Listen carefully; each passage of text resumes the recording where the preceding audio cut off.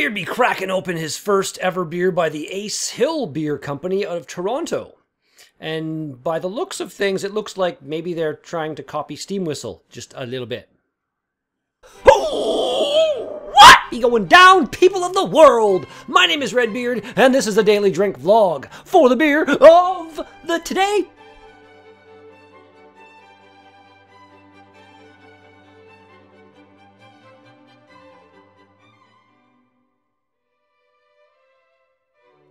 We've got a can of Ace Hill Pilsner by the Ace Hill Beer Company.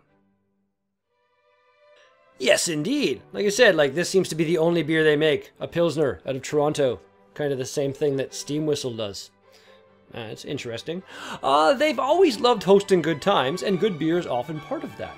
That led the co-founder Blake to start making beer out of his garage while bringing people together to share it with. Teaming up with some friends from the hospitality world, a serial entrepreneur and marketing expert, together we had a common mission.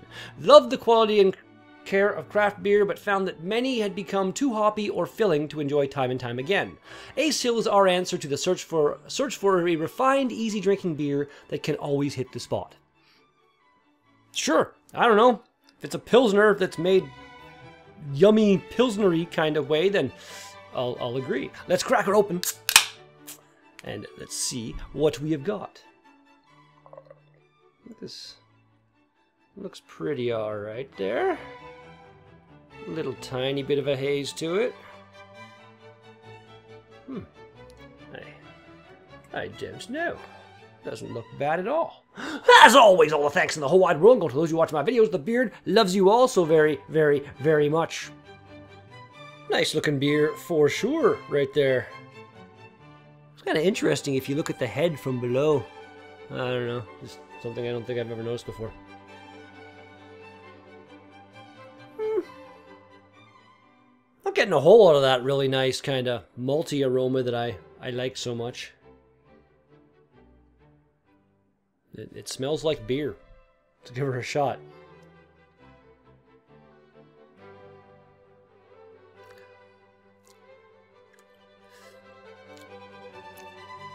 That's not bad. It's got that really nice malty character, but it's kind of underlying a little bit. Doesn't have like a a whole lot of the the flavors bursting in my mouth kind of thing, but it's that's pretty good. Let's do this. Cheers, everybody.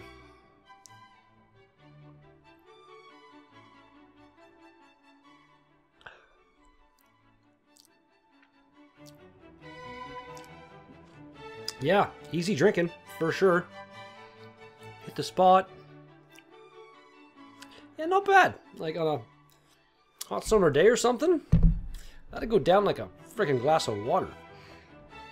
The Ace Hill Pilsner is slow crafted in Canada with the utmost attention to detail, resulting in a delicious, easy drinking, award winning beer. Ingredients water, barley malt, hops, and yeast.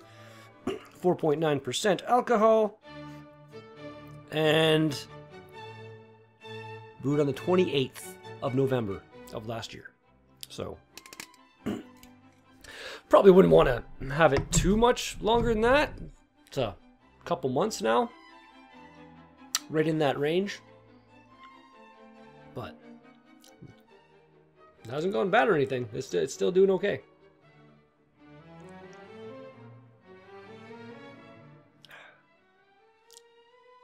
Yeah, I like that. And 4.9, just, you know, nice.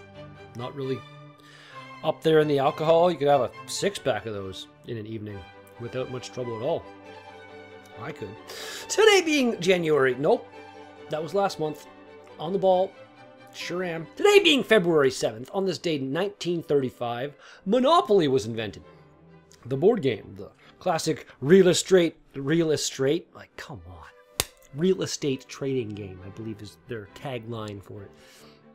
Yeah, and I don't know if you've heard, but there are plans to release some interesting new tokens. They might be getting rid of like the wheelbarrow and the thim- thimble or something. You need to, like, don't change that shit. They want to put an emoji and like a penguin.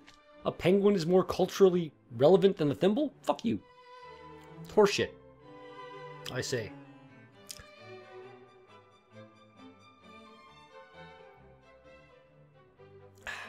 Mm. Yeah. It's not hoppy or filling like they say there.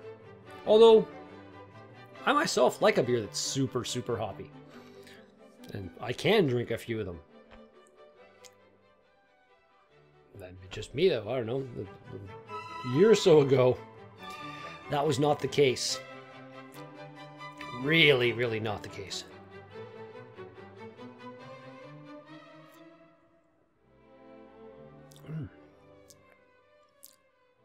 Yeah, just a good, easy drinking Pilsner. Like, it's been a while since I've had one, but the top my, I don't think this tastes a whole lot different from Steam Whistle, like I was saying at the beginning. Mm, like the whole do one thing really, really well. That's what they're trying to do as well, kind of thing. Good on them, good on you, I guess. Not overly original, but Excuse me. Nice malty burp. On this date in 1962, the U.S. banned all Cuban imports and exports. Yeah. I think they uh, exported, what is it like? Uh, we got nickel, tobacco, fish, medical products,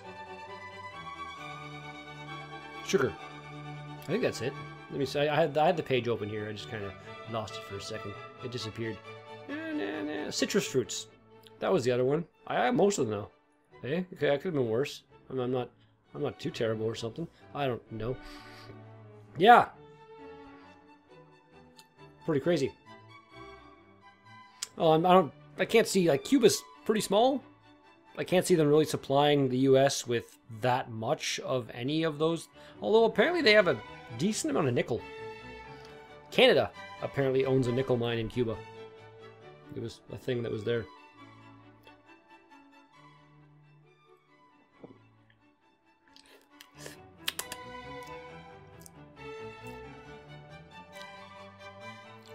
Yeah. Nothing else I can really say about this. If you like a Pilsner, try this Pilsner. Because it's a... Son of a fuck. Good Pilsner. That's where I, where I was going with that. Yeah. Really should uh, give myself a reminder written down somewhere to put the goddamn phone on silent when I do the vlog. Yeah, that'd be a good idea. Sure would. But I'm, in, I'm a genius like that, you know? That's how it is.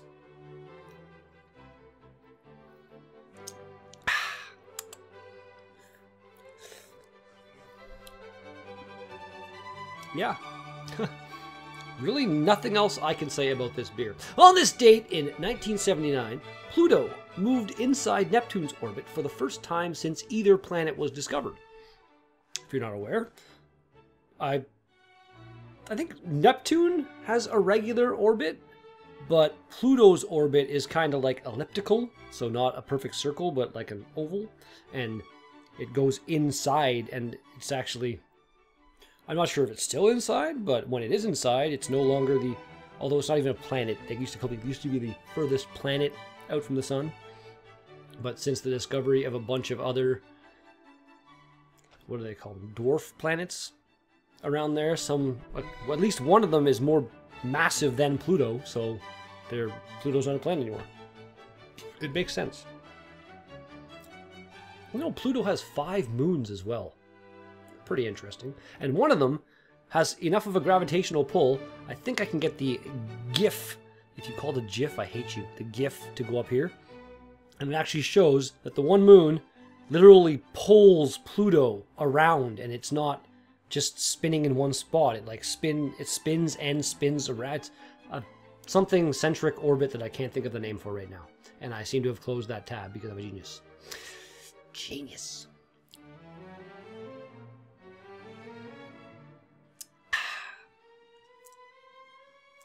Ace Hill, your brewmaster. Not genius? Alright, this could be... The malt flavor could be elevated a bit more, in my opinion. But he did a damn decent job. I gotta say. Finally, on this date, in 2009, bushfires in Victoria, Australia, leave 173 people dead. The worst natural disaster in Australia's history. So, terrible that 173 people died, but at the same time, kind of remarkable that that's the worst natural disaster that you ever had. Right. Drink number the last. Ah, mmm. Good stuff. Quite, quite nice. Ace Hill, your Pilsner. Rating. It's a solid 8. It's a solid 8. A little more of the malty flavor. Might have bumped it up a little bit, but nothing bad. I liked it. And that's going to do it for today's Daily Drink vlog. Thank you so much for watching this video. If you liked it, then be sure to smash that like button. If you want to see more of my videos, then be sure to smash that subscribe button. If you've got some me, put some comments in the box down below. Thanks again, and I'll be back with another Daily Drink vlog tomorrow. A peace out! Randomly was annoyed by that whole Pluto thing. Pluto and the moon Charon are in hydrostatic equilibrium with each other. That's what it's called. Yeah. I don't know.